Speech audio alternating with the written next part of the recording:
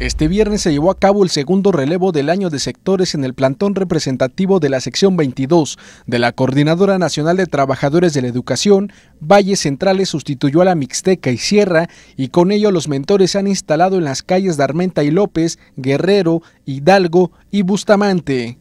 A decir del integrante de la Comisión Política de la sección Gustavo Manzano Sosa, dicha región se encontrará instalada del 9 al 15 de enero, siguiendo los acuerdos de las bases, hasta lograr la aprobación de la ley estatal emanada de los 37 foros legislativos que dieron a lo largo y ancho del Estado. Sí, nosotros estamos preparando también la lucha no solamente jurídica, política, desde luego pedagógica, para estar en contra de la reforma educativa. Nosotros tenemos planteamientos muy concretos y que obviamente no vamos a permitir, sobre todo que transgredan los derechos laborales, sindicales de nuestros compañeros de base, ¿no? y, y esa es la posición de este movimiento.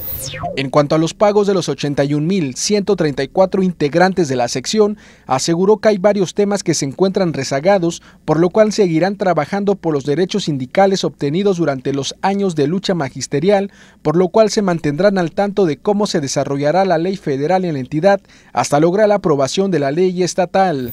Pagaron ya la segunda parte del aguinaldo, y obviamente tenemos que hacer un balance de, de los resultados que arroja este, esta emisión de pago por la vía federal y obviamente revisar las quincenas subsecuentes. ¿no? Lo que sí nosotros dejamos en claro es de que ningún compañero puede quedar fuera de, pago porque ha devengado su salario, ha trabajado, ha estado cumpliendo con sus funciones.